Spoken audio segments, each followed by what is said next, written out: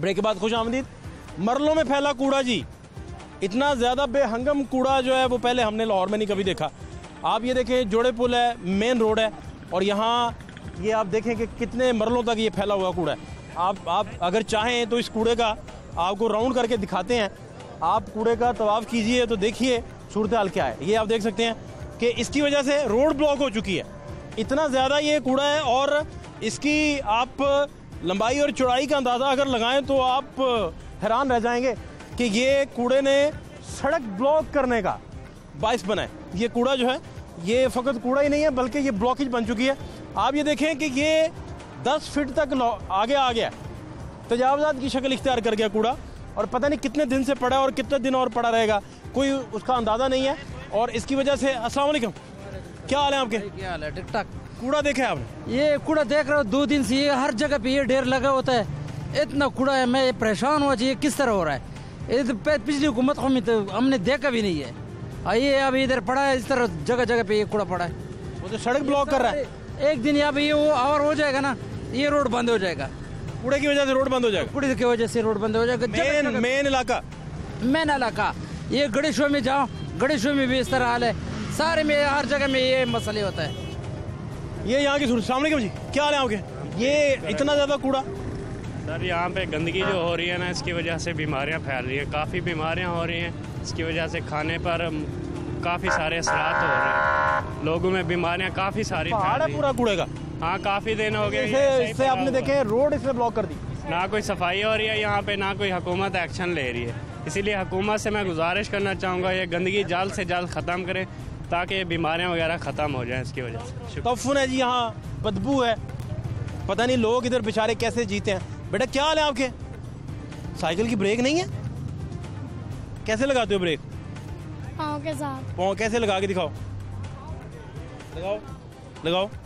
ایسے جیسے کھڑے کیا کرتے ہو؟ چکے میں پیر دے دیتے ہو؟ ہاں۔ صحیح لگاتے ہیں۔ کیسے کیسے؟ دکھاؤ نا۔ چلا کر لگا پیر نیچے لگا لیتے پیر نیچے لگا لیتے ہو۔ گڑیا کو کدھر لے کے جا رہے ہو بیٹا؟ کیا حال ہے آپ کے؟ آپ ٹھیک ہو؟ کس کلاس میں ہو؟ پریپ۔ میں کوئی پوئم آتی ہے آپ کو؟ کوئی پوئم نہیں آتی۔ بچے بھی ادھر ہیں جی گھوم پھر رہے ہیں لیکن کوڑے کی وجہ سے سارے لوگ جو ہیں ان کی زندگیاں جیرن ہو چکی ہیں۔ حالات جو ہیں وہ اس وجہ سے خرابی کا شکار بھی ہیں کہ یہاں جتنے بھی افراد ہیں وہ آپ کو توبہ توبہ کرتے دکھائی دیں گے کیونکہ اس قدر غلازت اور بدبو جو ہے گل صاحب یہ کیا ہو رہا ہے؟ میں نے تو آپ کو شروع میں شعر جو سنایا تھا کہ ابتدائے عشق ہے روتا ہے کیا؟ روتا ہے کیا؟ آگے آگے دیکھیے ہوتا ہے کیا؟ ہوتا ہے کیا؟ تو یہ ابھی آپ کو میں سیکنڈ یہ سیکنڈ پوائنٹ آپ نے دیکھا ہے۔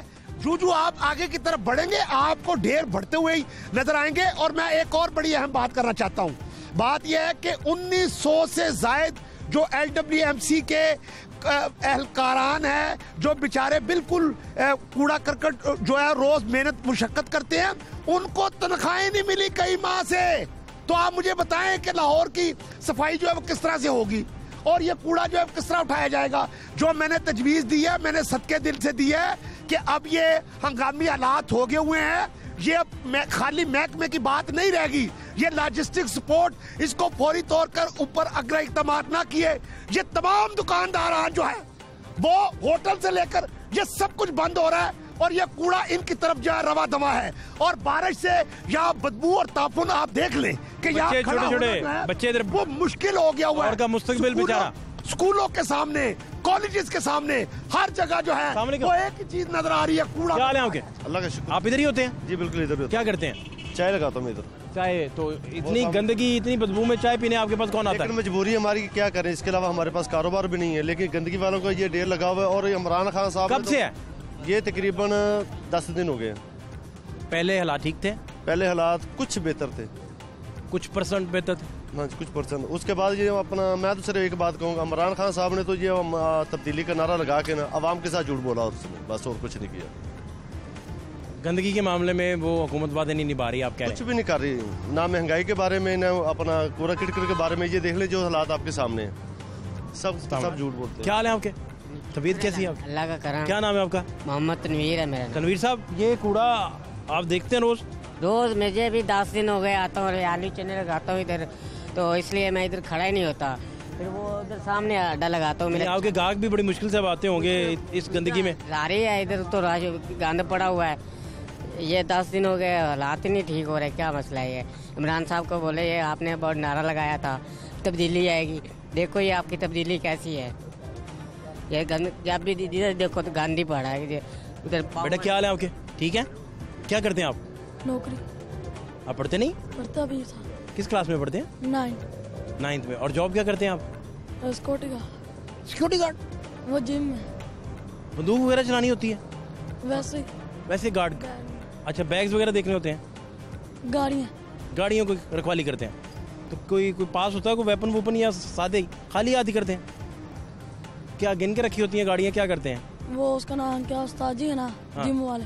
وہ بتا دیتے ہیں تین تین گاڑی تو میں دیکھتا ہوں۔ تو آپ کی اسٹڈیز کیسی جا رہی ہیں؟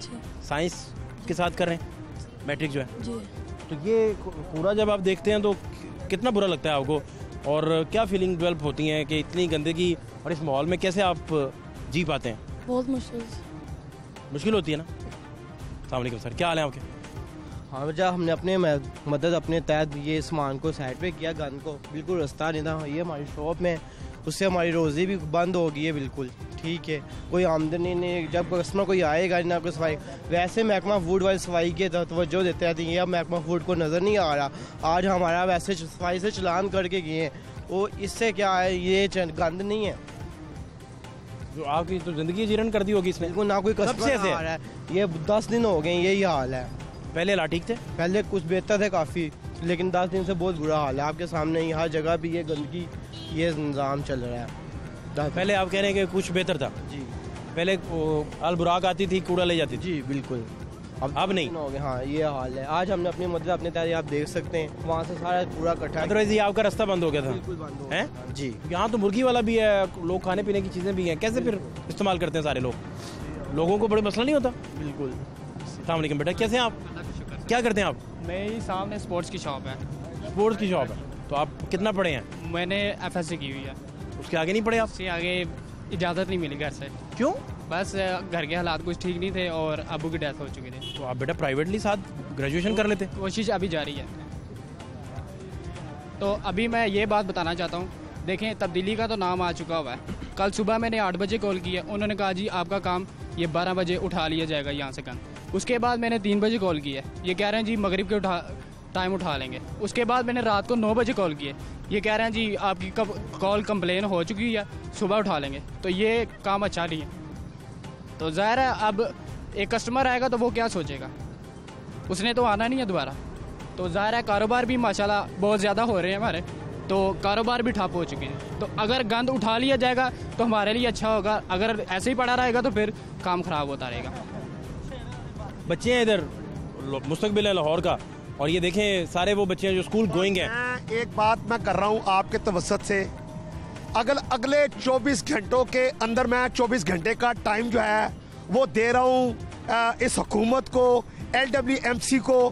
اگر چوبیس گھنٹے کے اندر یہ ایکشن نہ ہوا یا کوڑے کے ڈھیر نہ اٹھائے گئے، تو پھر آپ ہمیں مجبور کریں گے کہ میں اس عوام کو لے کر جو ہے وہ ان کے خلاف جو ہے وہ بیٹھ جاؤں گا۔ چوبیس گھنٹے کا میں الٹیمیٹم دے رہا ہوں کہ ان کوڑوں کو فوری طور کے اوپر لاہور سے جو ہے وہ رمو کیا ایک اور رہنمائی کر دیں۔ جی۔ یہ جو بندے آپ لے کے بیٹھیں گے یہ کہاں بیٹھیں گے؟ اسمبلی بیٹھیں گے؟ تو ہر میں یہ اعلان کروں گا کہ جہاں جہاں کوڑے کے ڈھیر لگے ہوئے ہیں وہاں یہ دکاندار اور جتنے لوگ جو متاثر ہو رہے ہیں، وہ سب بیٹھیں گے۔ سکولوں کے جو بچے متاثر ہو رہے ہیں، وہ سکولوں کے بچے جو ہمارے ساتھ بیٹھیں گے، سب لوگ بیٹھیں گے۔ اور اس نے تو دھرنا اپنی حکومت کو حاصل کرنے کے لیے لیا تھا، لیکن میں لاہور کے شہریوں کی آواز کے لیے دھرنا دوں گا، یہ میں آپ کے توسط سے کہہ رہا ہوں۔ اچھا انہوں نے تو جب دھرنا دینا تھا، تو دھرنا دینے سے پہلے انہوں نے بتایا تھا کہ ہمارے پاس اتنے بندے ہوں گے، اتنے بائکس ہوں گے، اتنی گاڑیاں آئیں گی اور ڈی چوک اسلام آباد جائیں گے۔ آپ کو تھوڑا خد و خال بتا دیں، کتنے بندے آپ کے پاس ہوں گے؟ بات دیکھیے، آپ کا جو پروگرام ہے، تماشا آپ نے ہمیشہ سے عوام کی نب پہ ہاتھ رکھا ہے اور ان کے جو مسائل ہیں، آپ ان کو اجاگر کرتے ہیں۔ آپ جب نکلتے ہیں تو آپ جو ہیں، وہ اکیلے ہوتے ہیں اور آپ کا کیمرہ مین ہوتا ہے۔ تو کیا مطلب ہے کہ اگر آپ دو فرد جو ہیں وہ لوگوں کے مسائل دکھا سکتے ہیں۔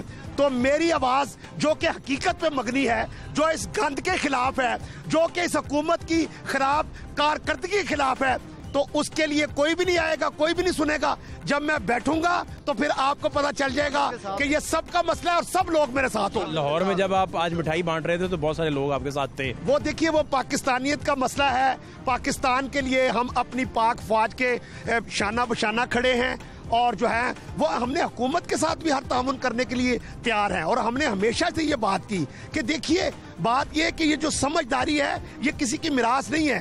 اگر ہم نے اس تجربے کے ساتھ جو ہے اسی ایل ڈبلیو ایم سی کے انہی افسران کے ساتھ اور انہی اہلکارانوں کے ساتھ جو ہے اسی مشینری کے ساتھ اگر لاہور کو صاف کیا ہے تو ان کو کیا پرابلم ہے کہ یہ نہیں صاف کر سکتے؟ کانٹیکٹ ہم کرنے جا رہے ہیں۔ آپ لوگوں نے سادی صاحب آپ کو تھوڑی دیر پہلے فرما رہی تھی۔ آپ کے ساتھ جب موجود تھی وہ فرما رہی تھی کہ آپ کی کرپشن ہم صاف کرنے جا رہے ہیں۔ فواد دیکھیے میں بھی بورڈ آف ڈائریکٹر کا ممبر تھا۔ یہ کانٹریکٹ والی جو بات ہے یہ تو پچھلے چھ ماہ جب ہماری حکومت تھی اسی کے دوران ہم نے اس کے اوپر کام شروع کر دیا تھا کہ اب جو نیا ہم نے کانٹیکٹ کرنا ہے اور جب یہ ختم ہوگا تو یہ فوراً جو ہے وہ کس طرح سے شفٹ آن ہوگا؟ تو یہ تو ان کو پہلا کام تھا جو کرنے والا ہے۔ یہ جب کوڑے کے ڈھیر لگ رہے ہیں تو یہ اس وقت کانٹیکٹ کر رہے ہیں۔ کس کے ساتھ کانٹیکٹ کر رہے نے ہیں؟ آپ کو بتایا تو ہے کہ بارڈروں کی صورتحال ہے۔ دیکھیے آپ میری بات کو سمجھے یہ ہر یہ مودی کی طرح جنگ کے پیچھے جو ہے وہ کیوں ہر چیز کو چھپنے کی کوشش کر رہے ہیں؟ جو لوگوں کے مسائل ہیں روز مرہ کیا یہ لوگ جو ہیں پاکستان سے محبت نہیں کرتے؟ آج ان سب لوگوں نے میرے ساتھ مٹھائی بانٹی ہے سب لوگ سڑکوں کے اوپر تھے۔ تو کیا ان کے کاروبار کو جو ہے یہ یہ دیکھیے پاکستان کا پہیا جو ہے اللہ کا شکر ہے کہ ان لوگوں کی۔ وجہ سے یہ نہیں بریک ہے جی، یہ۔ چیزیں ہیں جو ان کو پریشان کر رہی ہیں۔ شارٹ بریک ہمارے ساتھ رہی۔ Short break